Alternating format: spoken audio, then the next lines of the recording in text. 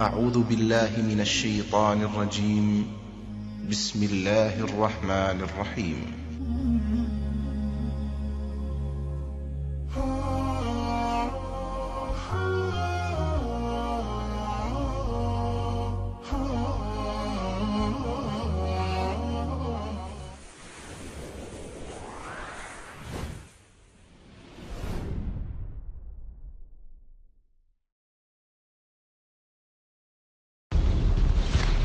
আসসালামু আলাইকুম রহমতুল্লাহি বরকাতুহ দিন ইসলাম ভাই প্রশ্ন করেছেন যে, সহি মুসলিমের একটি হাদিস পড়েছেন যেখানে উল্লেখ করা হয়েছে যে, কিছু মানুষ থাকবে সত্যের সপক্ষে যারা কেতাল করবে এবং কেমন পর্যন্ত তারা থাকবে। তো সেই দলের পরিচয় জানতে চেয়েছেন। এবং বলেছেন, যেহেতু কেতাল শব্দটি, তো আমাদের সমাজে তারা কারা? আল তৌফিক আল্লাহ মুস্তান রসুল্লাহ সাল আলী আসাল্লাম ভবিষ্যৎবাণী করেছেন যে কেয়ামতের আগ পর্যন্ত সত্য জামাত, সত্যের উপরে প্রতিষ্ঠিত দলভুক্ত লোক তারা থাকবে। কারণ যদি সত্যপন্থীরা যদি না থাকবে, সেদিন অসত্যপন্থীদের উপরই কেয়ামত প্রতিষ্ঠিত হবে। রসুল্লাহ সাল আলী আসাল্লাম ভবিষ্যৎবাণীর মধ্যে যেই কথাগুলো বলেছেন একাধিক হাদিসে সমস্ত গ্রন্থেই এটির সমষ্টিও। রূপ হলো এমন যে হজরতে ঈসা আলাইসাল্লাম আসবেন, এরপরে ঠিক হ্যাঁ ওইভাবে এই পৃথিবী প্রতিষ্ঠিত হবে। চল্লিশ বৎসর তিনি শাসন করবেন। এবং একটা পর্যায়ে আসবে যে যখন সত্য জ্ঞান অন্বেষণকারী সত্যের পথে লড়াইকারীরা পৃথিবী থেকে চলে যাবেন এবং এক ধরনের বায়ু প্রবাহিত হবে যার দ্বারা মুমিনদের বগলে ব্যথা হবে এবং তারা মরে যাবে। এরপরে বৎকার পাপিষ্ঠ এই পৃষ্ঠ প্রদর্শনকারী লোকগুলোই থাকবে, যেগুলো প্রকাশ্যে জেনাবে বিচারক করবে। এদের উপরে আল্লাহ তালা কেমন প্রতিষ্ঠিত করবেন। এবং সেই মুসলিমের মধ্যেও একাধিক হাদিসে বিষয়টি এমন করে বলা হয়েছে মিন ইকাতিলুনা আলাল হাক্কি জাহিরিনা ইলা ইয়াউমিল কিয়ামা। এখানে ইকত ইলুনা বলতে শুধু যে কতল মানে তরবারি দিয়ে লিখণ্ডিত করাই মূলত আসলে বুঝায় বুঝায় না। যদিও ওলামাই কেরামগণ বলেছেন যে হজরত ইসা আলি সালাতাম এসে তিনি পুনরায়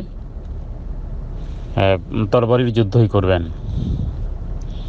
আবার কিছু ওলামাই কেরামগণ বলেছেন যে, না, তরবারির যুদ্ধ নয়, বরং তা তাকে আল্লাহ তালা এমন সুপার পাওয়ার দিবেন, যেমন পানির মধ্যে লবণ দিলে যেমন গলে যায়, যেমন কাফের এবং দাজ্জাল, তার আল্লাহ তালা এমন আধ্যাত্মিক শক্তি তাকে দিবেন যে তিনি যেদিকে চলা শুরু করবেন, তার শ্বাস প্রশ্বাসই এমন হবে যে তাকে দেখলে দাজ্জাল ওভাবেই করেই শেষ হবে। যাই হোক বাকি সে বিষয়ে আমরা সম্ভবত পূর্বে আলোচনা করেছি যে শেষের দিকে যুদ্ধ কি, কীভাবে হবে। কারণ হাদিস থেকে আমরা জানতে পারি ইসা আলাইসাল্লাম তিনি লড়বেন। এখন এই হাদিসের যেই ব্যাখ্যা ইকাত ইলুন আল হাকি এখানে কতেল শব্দের অর্থ শুধুমাত্র তরবারি দিয়েই হত্যা করা নয়।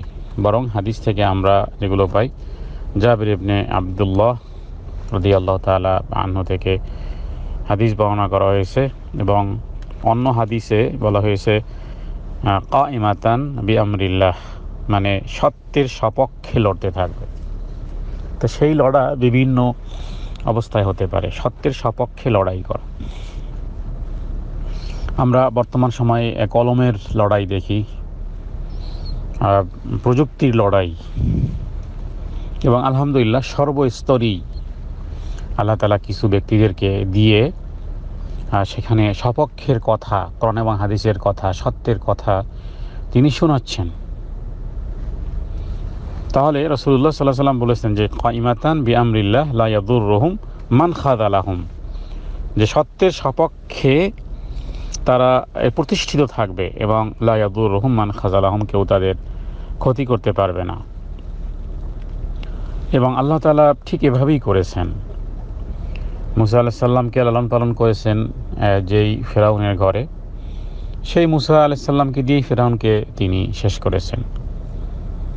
তাতারিরা পৃথিবীতে একেবারে ধ্বংসযজ্ঞ প্রতিষ্ঠিত করেছিল, যেটাকে ইমাম ইবনে তাইমিয়ার, তাইমিয়া তার নিজস্ব লেখনীতে উল্লেখ করেছেন যে, বাগদাদে হাজারো লক্ষ লাশ, লাশের স্রোত বয়ে গিয়েছে। যেই তাতারিরা হত্যা করেছে, আল্লাহ তালা ওই তাতারিদেরকে দিয়েই আবার দিনের কাজ করিয়েছেন। তারাই মুসলমান হয়েছে।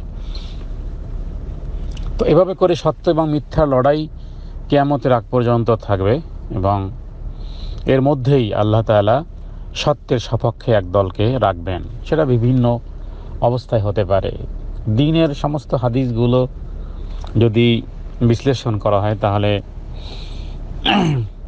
ব্যাখ্যাটি আসলে এমন হয় যে একটা মেশিনে যেমন সব পার্টসগুলো এক কাজ করে না। বিভিন্ন পার্টস বিভিন্ন কাজ। কোনো পার্টস একটা ঘড়ির ভিতরেই, কোনো পার্টসটা ডানে ঘোরে, কোনোটা বামে ঘোরে।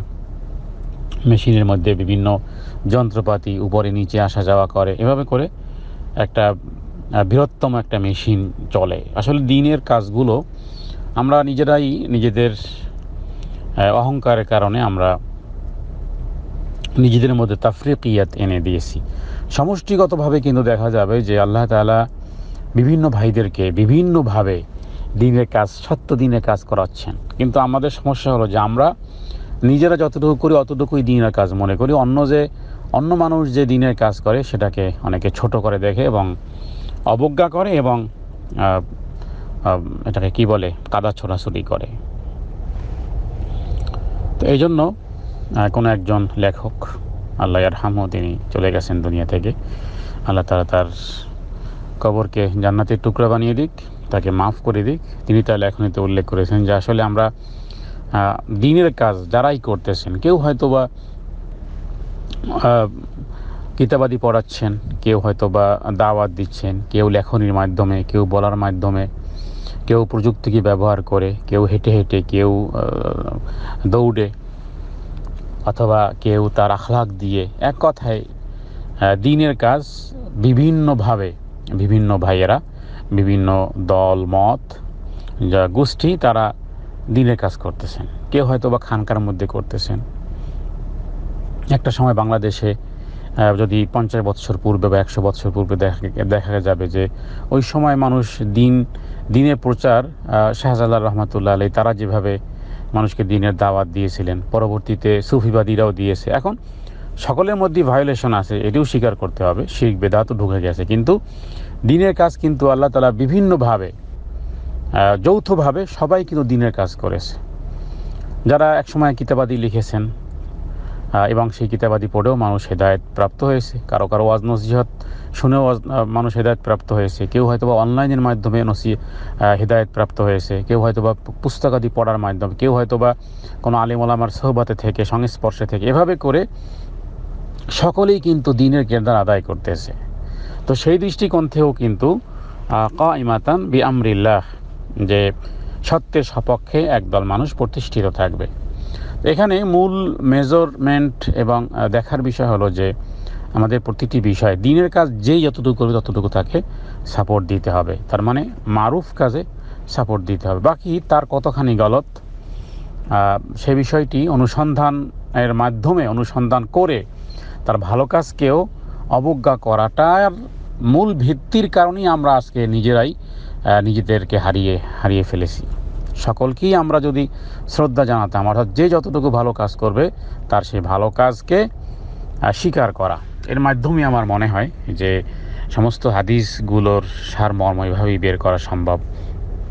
আল্লাহ তালা কানুন কারিমও একই বলেছেন ও আতাসিম আতাসিমু বিহাবলিল্লাহি জামিয়া ওয়ালা তাফারুক এই হাবলিল্লাহ অর্থ কোরআন এবং সুন্না কোরআন এবং সুন্নার দিকে যেই দাওয়াত দেবে, যতটুকু দিবে, যত অংশ দেবে, একশো পার্সেন্টে যদি কেউ দশ পার্সেন্টও দেয়, আমরা ওই দশ পার্সেন্ট দেখি না।